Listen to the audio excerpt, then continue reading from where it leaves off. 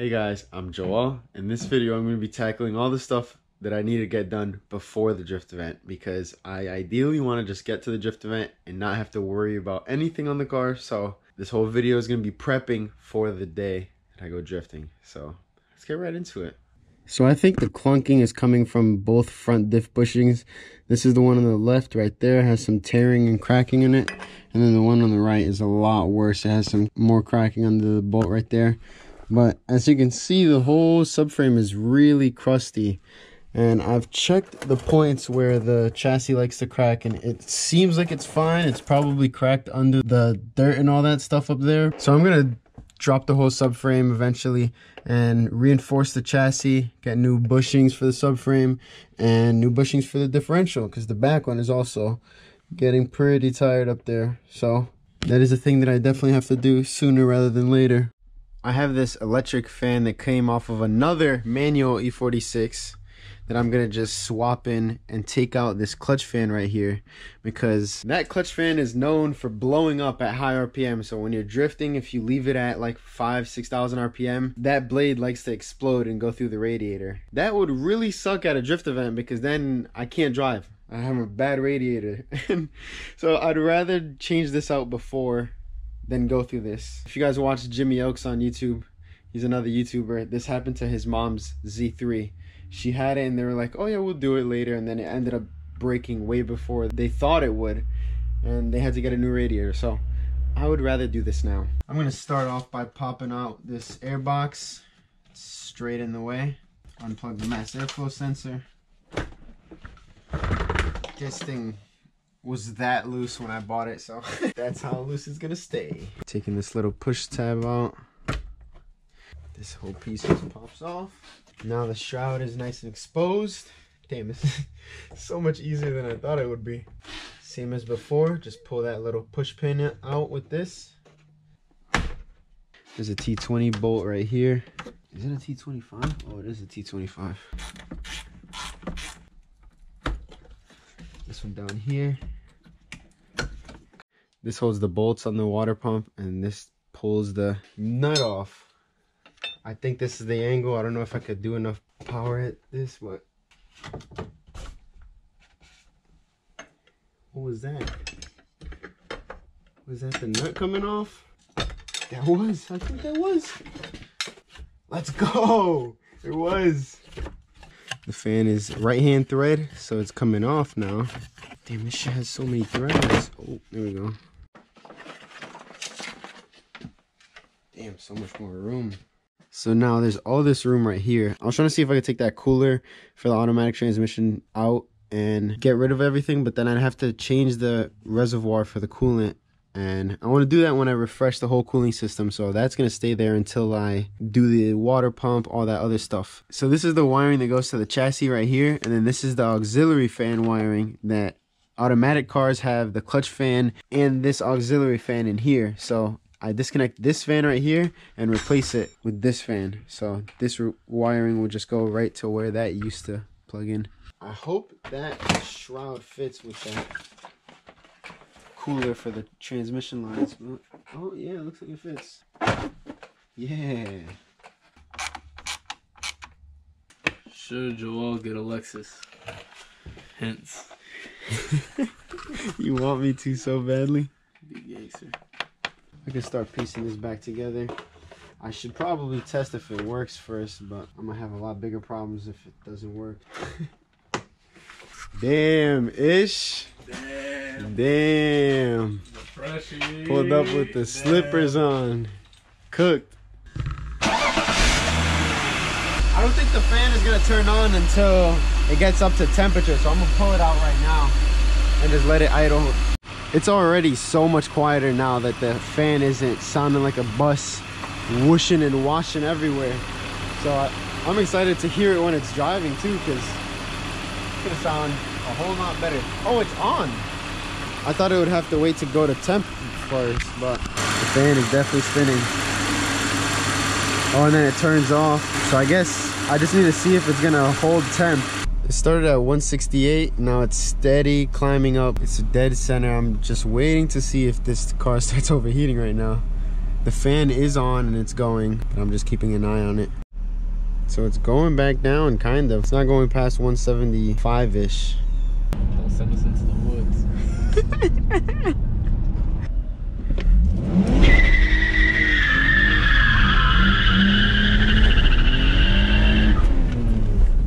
That felt really good. Nice. that, That felt really good. That, felt really Look, good. As soon as she comes out to take out the trash. So I must have idled the 46 for like over an hour combined. It didn't overheat. It was good. Temperature stayed good. So I feel very confident in that that is going to be all right for the drift event and that nothing is going to be going wrong with the electrical fan. So that's just one step closer to being ready for the drift event. I have to pull in the E46 right now so that I can fix this power steering leak. Again, this is the one line that I didn't replace. I'm just going to have to cut it out. You're going to see why because the quick disconnect doesn't come off. So I finally got the car lined up in the garage how I did the first time where the light is perfectly lighting up the engine bay so I can see everything. so I'm to start off taking the airbox out and trying to diagnose that line right there. So if I trace my steps right here, just being parked here for probably five minutes is that little power steering stain. And if I look straight up from here, there's some power steering on this. And then right above that, it's also dripping. And what that is are these two lines right here. These are power steering, but the bottom one is soaked and the top one is dry. And then I just come up over here and that bad boy right there is leaking pretty good. So I'm guessing that the fluid is just coming out of that line and hopefully that's what's dripping down all the way to the floor over there. But the problem lies whenever I push this clip in, no matter what I do, I cannot get this quick disconnect line in. I spent a good 45 minutes to an hour just right there trying different positions and I could not get that out. So I'm trying to see to come in with this Dremel and cut it out, but it looks like it's gonna be easier if I just try and remove this headlight so I can get some more room.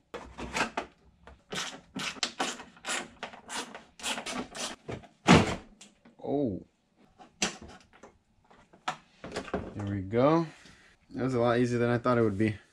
Now I have a really clear shot at what I need. I need to take this top line off right here. So if worst comes to worst, I can, oh, that's so close to the expansion tank though. Oh, I can definitely cut it from this angle right here though. Let me just try one more time. So the thing with this is that you have to push it in this way and with this towards each other. So with the headlight in the way, it was pretty difficult. I don't know if this is gonna be easier now, but oh, I need to drain the power steering fluid before I do that. I got a tray under there right now, and I'm gonna give this a valiant effort. Oh, it hurts my wrist so badly. I have pretty bad wrists from previous injuries, so I can't put that much pressure on that right there. Maybe a normal person can, but that's not happening with me, so I'm gonna try and do something. Just trying to get rid of this old fluid without a turkey baster.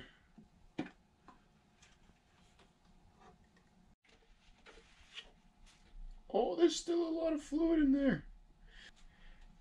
Hey, yo. I'm gonna try one more time with this before I cut it. So now I push inwards and out. No way! Let's go! It worked! I didn't have to cut anything. Let's go! Oh, I'm so happy. Because that only took like 20 minutes. So I could just come in, push the new one on. Here we go. New one is on. Up top over here, I could plug this in. Slide it back on.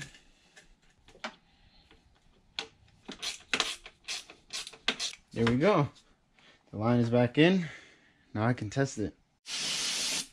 I'm just coming in and spraying everything with brake clean to get rid of the old oil that leaked everywhere so that I can easily see if there's new oil leaking. I'm gonna connect the airbox just so that I have the mass airflow sensor.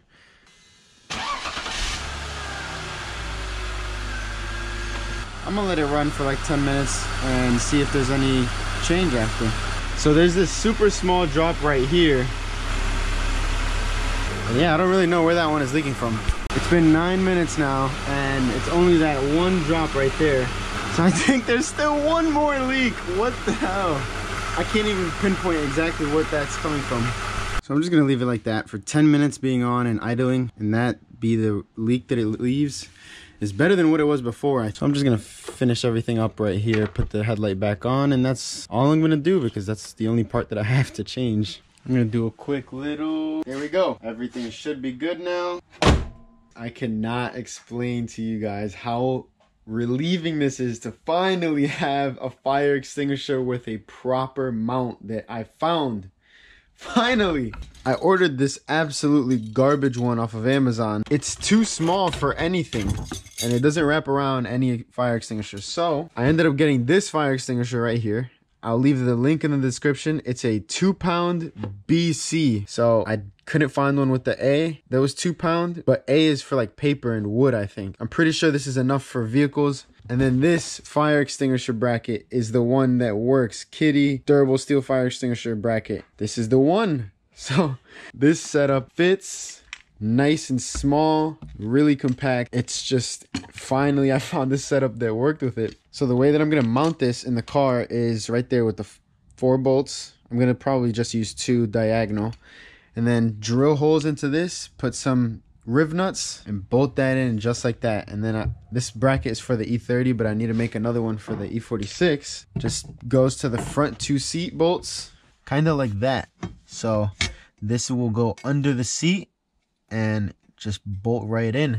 But I need to make another one because this one's too narrow. There you go. Boom.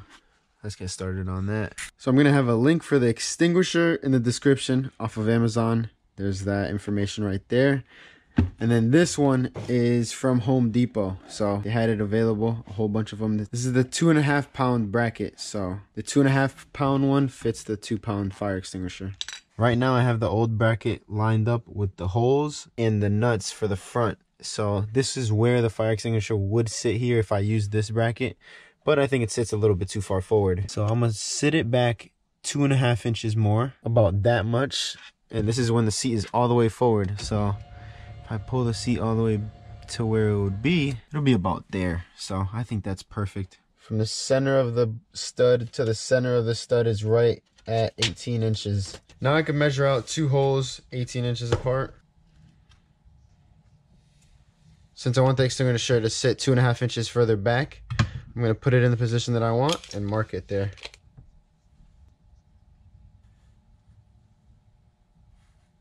There we go. Not the craziest accurate, but it'll work. So the top is going to be now right across there. I want there to be a, half an inch on either side of the hole. So this one is at one inch.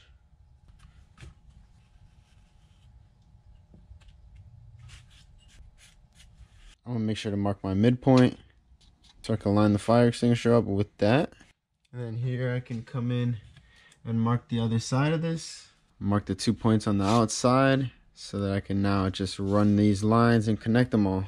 This top line is definitely not straight so I'm gonna just run it from the bottom up. Those two line up so I can say that that's kind of level. And then if I keep just going up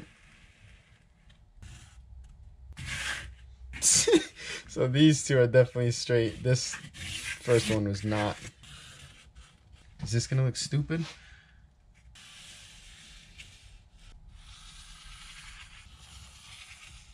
There we go. Now I can cut that out.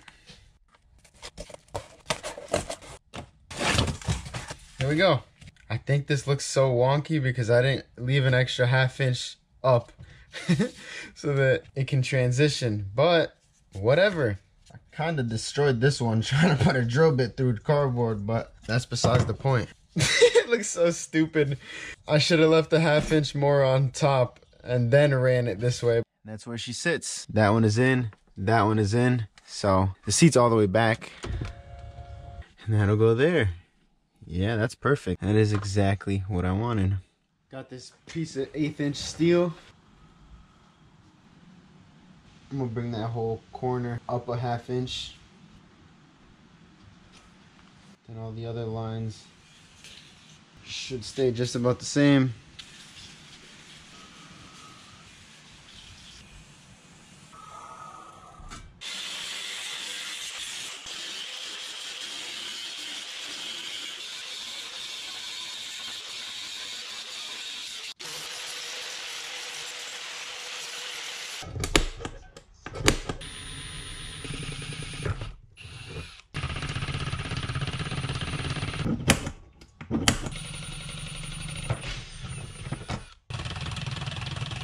So in the car here, that stud is perfectly in the center and perfectly in the center. So I did kind of a decent job, I guess. And that's what it's gonna look like. So now that I know that it fits, I'm gonna take this scaling off of the steel so that I can get it ready for paint. So I'm gonna leave the fire extinguisher right there. I like where that sits. So I'm just gonna take the extinguisher right off. And that is where I wanna mark it.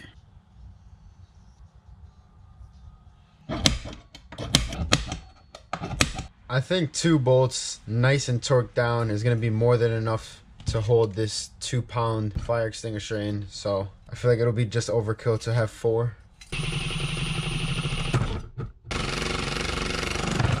Low speed is what gets these holes drilled. If you go in, you're gonna destroy your drill bits instantly. So I'm gonna be using this little thing, it's called the riv nut, and it'll turn any hole into threads. So it's really nice for doing stuff like in the engine bay or like on a car that you don't have any place to put a nut on the back. You just use one of these. With this tool, I'm gonna leave the link in the description. If you're interested in this, but you screw it on right here, and then when you squeeze these two together, it, it, crimps around the sheet metal. I also bought this kit because these are stainless steel riv nuts instead of the other whatever they use. So these don't corrode if you put them onto a car.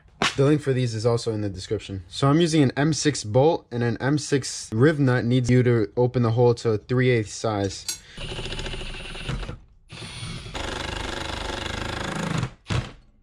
So lining it up. Yeah, I'm doing something right. They're dead centered. All right, now I can paint this whole thing. So I hit it with some of that because I'm gonna use some wrinkle paint. Now, just degrease it. And I need to read the instructions on how to do this again.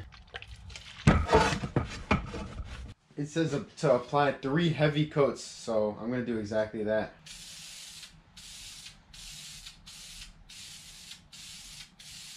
Oh my god, it's running so hard already. Might have gone a little bit too heavy. It's running really bad now. Last coat now. Now I'm gonna hit it hard with this heat gun to see if it'll actually wrinkle up because I don't think I've ever had a success with this. Oh, it actually wrinkled up a little bit. What?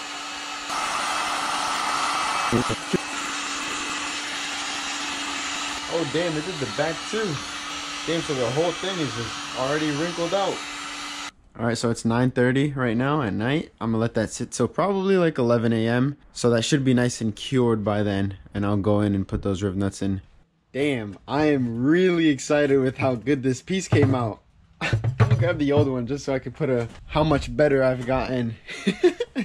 so this on the right was before I did any CAD classes in college because I'm going to school for mechanical engineering, but it's so uneven everything is just so this one is way bigger than here. It's just really ugly and bad looking like just doesn't look good. And the paint wasn't that good. It was my first time using wrinkle. But now it's so symmetrical. It looks so much better. And the paint came out not the best but definitely better than the first time.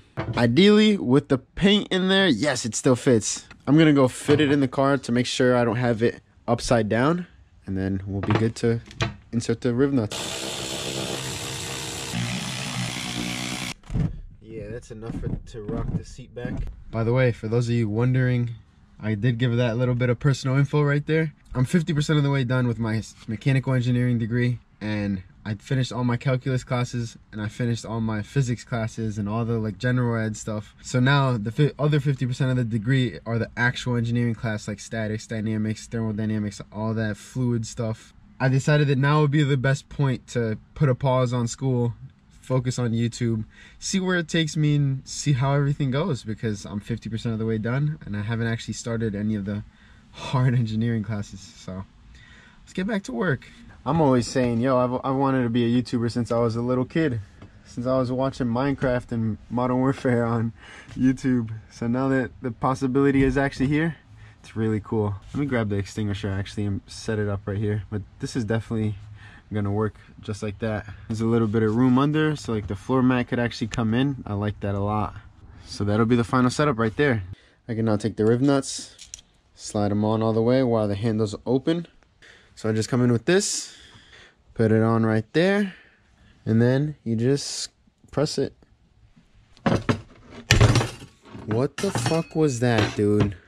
No way. This is why I don't do how-tos, yo. Why does some shit always happen? Like, oh my god. Did it just pull the threads out? I guess the problem could potentially be that the material is too thick for the size nut. I needed a bigger riv nut for the size metal because there's not enough wrinkle. Oh my goodness. See, like, this is only something you're gonna learn from doing it, yo. Like, so am I just gonna have to send it? What the hell happened? I mean, they work, kind of. The riv nut isn't sliding in smoothly anymore, so I'm gonna try running a tap through it. Dude, this is so stupid. Like, this is why I don't do how-tos. Just something happens that's like, I can never predict. Shout out to ChrisFix. I don't know how he never runs into any problems. Let's try this again. This is such an... Okay. I thought that it was a little bit later than that, but...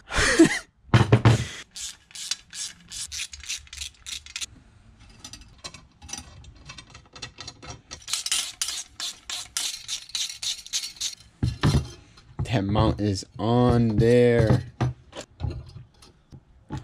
Boom! Let's go! Look at that.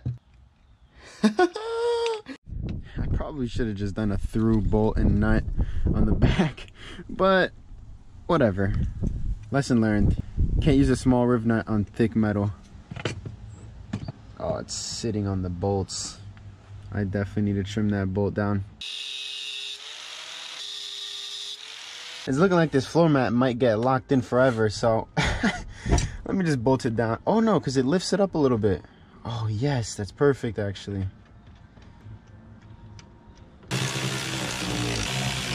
Pop the covers on, push the seat forward to where it's gonna be. So all the way forward, it is about, what the, it can go over the top of it. It can go all the way forward, even with the extinguisher in place, not touching. The seat just hovers over it. that is so perfect. It could not fit any better than this. I'm so excited. Damn, this project came out perfect. But now, if the floor mat can move, it's perfect. It'll realistically stay right there. So it's perfect visibility wise. Does the floor mat move still? It does! Let's go! Wow, this is perfect. I come sit in, that's what I'm scared about. When people whip their legs in, I don't want this buckle to be near where that happens. So you can literally slide your leg across the extinguisher. I don't know who would do that, but like, just in case, you know? And then in an emergency, nice and easy. So I said it a little bit, but there's not a lot of information on people doing their fire extinguisher setup in drift cars. Nobody says what extinguisher they're using. Nobody says what bracket they're using to mount it. Nobody says where they mount it. It's like a, one of the biggest struggles that I found with having a drift car. I'm like, where do people put extinguishers? And this is one of the best places that I can think of putting it in a stock car. Oh, and I don't know if I showed if it's sturdy or not. It is very sturdy. Just on the extinguisher at the back, she is not going anywhere. I just got these adjustable sway bar end links. So this will make me make it a little bit shorter. Either if this one's too long, I could put these in. Or if these are too short, I could put these on. There we go. That is not how you take that off, but I can only ever get these out with a vice grip holding the inside right there. So doing it this way stops it from spinning. So this is a comparison between the new one and the old one. It's a little bit shorter because now the car is shorter. The sway bar has different geometry to where it bolts up on the coilover right here. So I need to go in and figure out what no preload is because I think you want to install it with no preload. So I got this side tight on the top and bottom just to hold the whole sway bar in position right there. And then I have this side in on the bottom but loose on top. So it comes in and out. The sway bar moves a little bit up and down. So I'm guessing this is where no preload is, but you need no preload when the suspension is settled. But this car is way too low to get down and like around and trying to see in here. So I'm gonna have to leave it. I'm not sure how people do it on low cars. You probably put all four wheels. You probably put a chock under all four wheels and lift the whole car up so that you can then get under and start fixing that, which wouldn't be a bad idea for doing at home DIY alignments. Maybe four ramps. Yeah, that'll work actually. Four ramps. I could jack the car up and slide the ramps under. That is a really good idea actually. It'll make doing alignments a lot easier. But for the meantime, I'm going to put them in just both at the same size.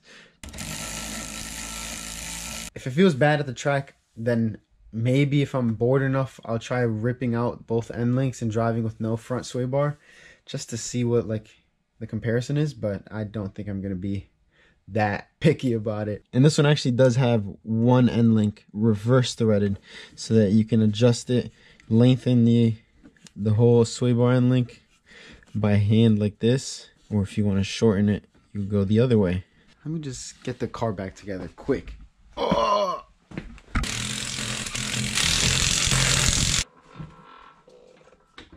So I think that just about wraps up the drift prep in the E46. Tires is the only thing I need to do. The back tires are completely smoked, so I need to put new rear tires. So I got the car all ready for the drift event, locked and loaded. That's what it's looking like. The trunk is fully loaded.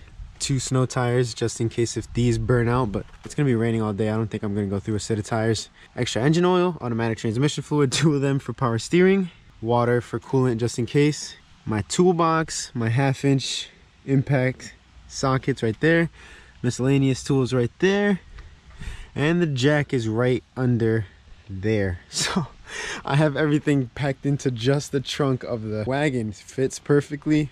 If I open the back seat, I have two jack stands over there. I might actually grab two more just in case. And then I have the helmet here. I'm gonna flip those around actually. I don't want to scratch the back of my seat.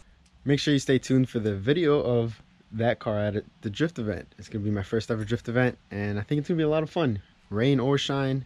And it's 100% gonna rain, but it's gonna be fun regardless.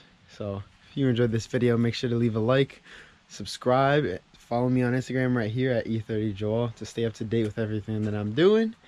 And yeah, thank you guys for watching.